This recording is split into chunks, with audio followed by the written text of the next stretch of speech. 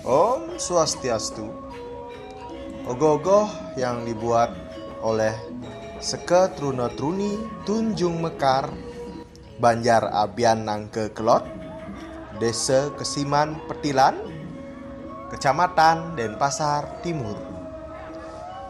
Tahun ini membuat tema tentang Legu Gondong Diceritakan pada zaman dahulu ketika wilayah kekuasaan Raja Kesiman sampai ke daerah pesisir timur dan tenggara yang meliputi daerah Sanur Intaran dan sekitarnya.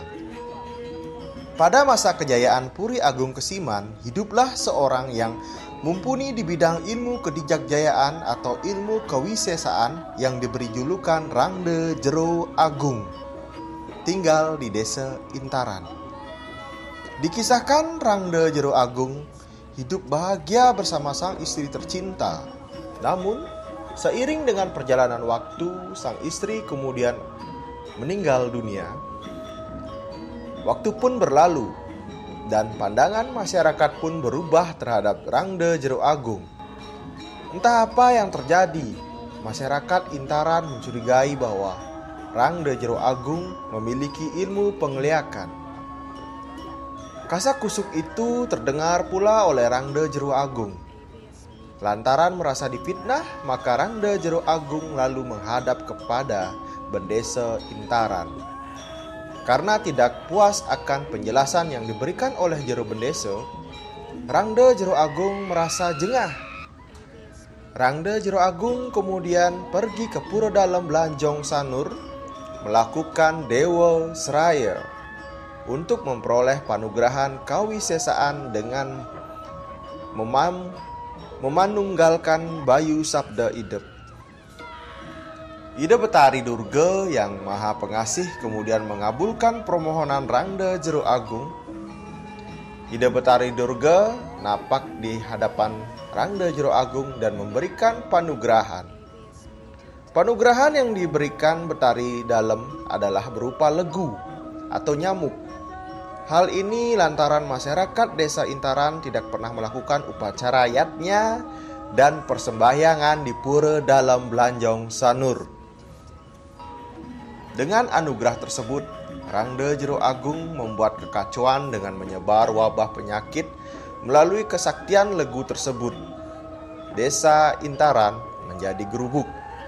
Mengetahui desanya terkena wabah penyakit, di mana banyak warga yang mati secara tidak wajar.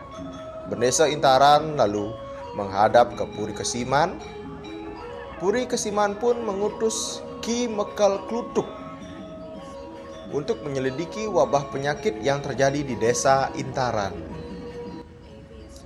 Dari pengamatan Ki Mekal Klutuk di desa Intaran, Kemudian didapat informasi bahwa penyebab semua ini adalah Rangde Jeru Agung yang menggelar kawisesaan dengan mengerahkan ajian legu gondong.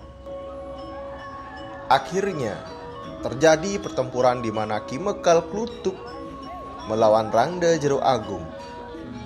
Atas pertempuran tersebut, kemudian Rangde Jeru Agung dapat dikendalikan serta kondisi masyarakat berangsur-angsur normal kembali. Dari kisah lagu gondong tersebut dapat dipetik sebuah nilai positif bahwasannya fitnah atau raja pisuna yang ditebar bisa jadi akan menghancurkan kehidupan orang banyak.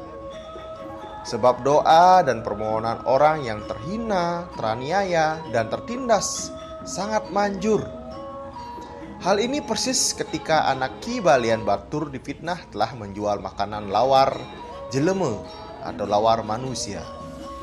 Satu lagi yang penting adalah kisah Legu Gondong. Bisa jadi adalah permainan Tuhan dalam hal Dewi Durga untuk mengingatkan manusia dan masyarakat agar tidak melupakan Widi atau Tuhan dengan cara melakukan yatnya dan persembahyangan di pura dalam belanjong. Artinya, kejadian ini adalah peringatan Tuhan kepada manusia untuk senantiasa mendekatkan diri ke hadapan ide Sang Yang Widiwasa karena manusia adalah ciptaan Tuhan.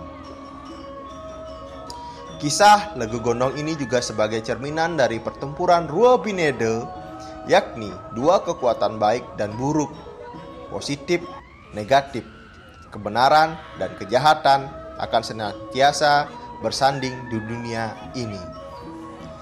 Demikian cerita singkat dari tema Legu Gondong yang dibuat oleh Seketruna Truni Tunjung Mekar, Banjar Abianang Keklot, Desa Kesiman Petilan, dan Pasar Timur. Om Santi Santi Santi.